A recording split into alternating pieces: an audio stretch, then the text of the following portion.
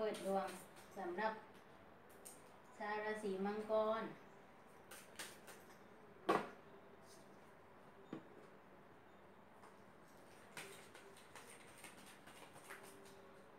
มังกรนะคะผู้ที่เกิดวันที่ 16 มกราคมถึง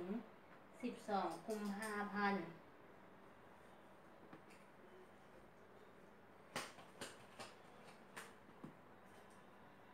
มังกร อ่า เออ การลงทุนการค้าดีเนี่ย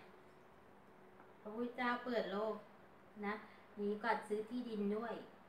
ธุรกิจโรงแรมที่พักห้องเช่าอะไรเงี้ยดี